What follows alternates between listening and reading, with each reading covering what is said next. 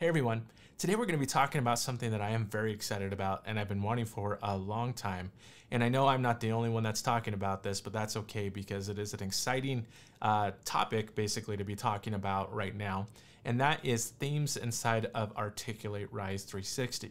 So you can adjust, you don't have that just one default theme, you can adjust the theme and change up the different themes. And you can also create your own theme down the road. But let's go ahead and take a look at what you can do with themes inside of Articulate Rise. All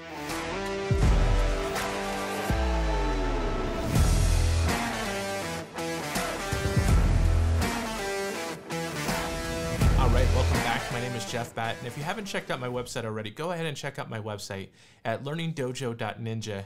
Here you can check out all previous blog posts with tips and tricks on Articulate Storyline, XAPI, augmented reality, and more. You can also check out and download different templates with Articulate Storyline, XAPI as well. And then if you're new to any of these tools, you can actually get full courses, everything from A to Z on Articulate Storyline 360, Adobe Captivate, XAPI Fundamentals, Articulate Rise as well, Custom SCORM, and HTML5 Video. Articulate Rise is an awesome tool and it's an easy tool. However, I've always thought that it's restrictive because there are some things that you can't do, especially with the style um, that's a, you know makes it different than what you see of other people. Like being able to, I mean, whenever you see an Articulate Rise course, you can tell, or before, you could tell that it was built in Rise. And so that's something that to me, I want to be different. I want to have something that is my own style or that is almost looks like that was custom built basically. And so we've we, we had that one Articulate Rise style, that theme, but now Articulate has opened up the possibilities of having more than one theme or adjusting the theme, and then even down the road, being able to create your own theme and uh, be able to adjust it and I'm hoping that goes beyond just that kind of the default stuff.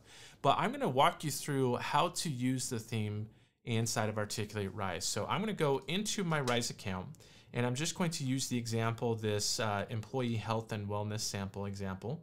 And I'm going to go into, and you can see brand new here, the theme here, and you can see the different themes available. Now, right here allows you to adjust the theme for different cover pages, navigation, lessons, colors, and so forth. I'm going to click on change theme. Now, right now, I'm seeing three different themes, the Rise theme, Apex theme, Horizon theme as well. And I'm imagining that there's is going to be a lot more themes that come into play down the road. But what's most exciting is the My Themes. So My Themes makes it easy for you to save and share customized themes. That's where I'm really excited about is because now I can create a custom theme for my company and I can share that out. And or I can create like a template and share that out as well. So I'm hoping it provides us with a lot of flexibility there. But I'm gonna go back into the standard one and let's go ahead and check on Apex here. Now, if I hit save, it says, are you sure you want to confirm Apex? And I'm gonna say yes for now. And then I'm going to go into each of these different options. So you can see right here in the Apex, we're not just stuck with that one layout. We have the option to do centered with just a color background here. We can do centered overlay as well. So we have that image overlay. We do left, we can do left with just a color background. We can do uh, kind of off to the side here with our start course. And we're just talking about the cover page at this point. We can also do with the image instead. So it allows us to change from these different options available here. You can also upload your own logo and customize your logo here as well, which is pretty nice. I mean, these are nice layouts. And with each of these initial kind of themes right here, so if I was to change to Horizon, it would give me different options on the cover of Horizon. But I'm gonna go back here and we're gonna now go into the navigation.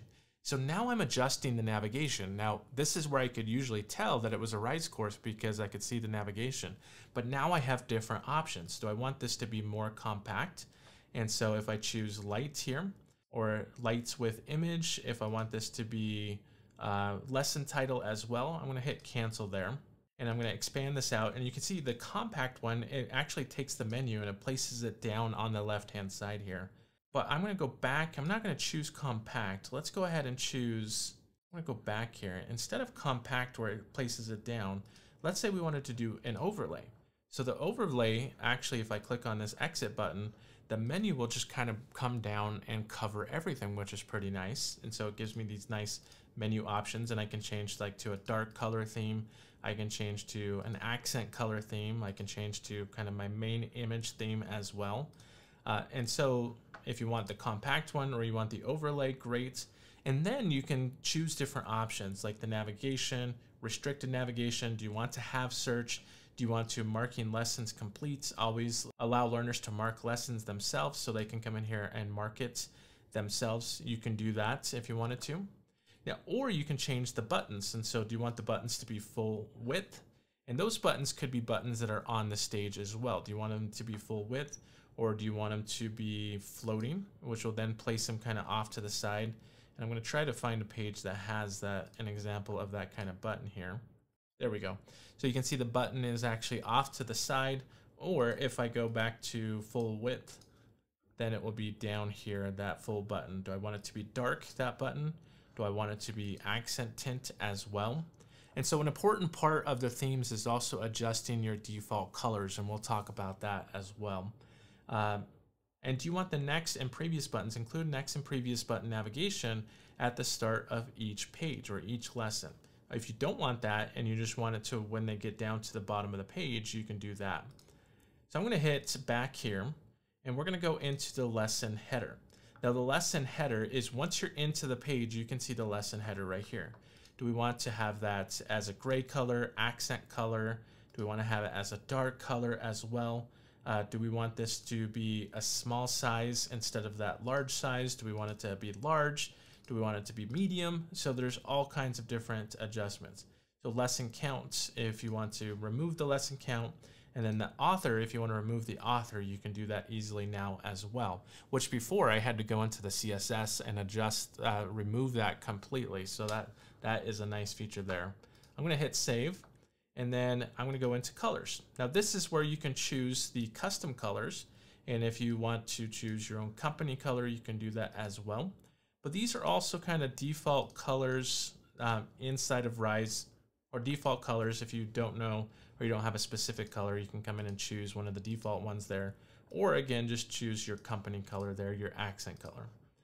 Now, fonts also allows you to choose what type of font. So you can choose a font, a common one here, or if you click on more, Poppins, you can also choose more here as well. So it gives you a lot of different types of fonts.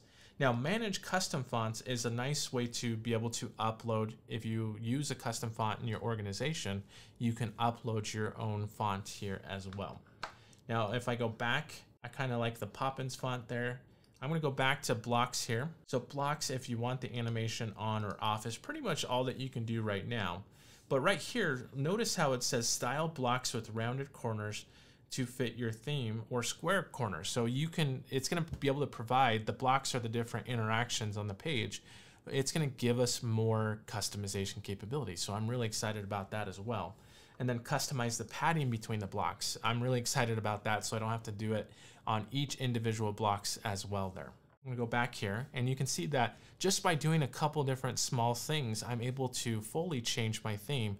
So I'm excited for the possibilities uh, that this presents because not only can you get different styles of your courses and not have the same style for every Rise course that you create, but the possibility that's coming down the road of being able to create your own custom themes, I am really excited about that to be able to create my own custom themes and to upload it here and share it with other people as well. So this was just a quick introduction for you to be able to see how you can go in and start adjusting the themes inside of Articulate Rise.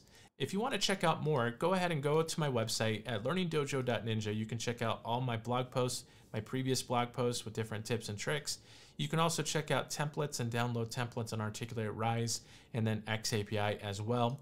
Or if you're new, you can check out full courses, everything from A to Z on Articulate Storyline, Adobe Captivate, XAPI Fundamentals, Articulate Rise if you're new to Rise as well, Custom SCORM, and HTML5 video. Also, if you like this video, go to my YouTube channel, hit the like button, and subscribe to my channel if you want to see more videos. That really helps out my channel and I would appreciate it tremendously.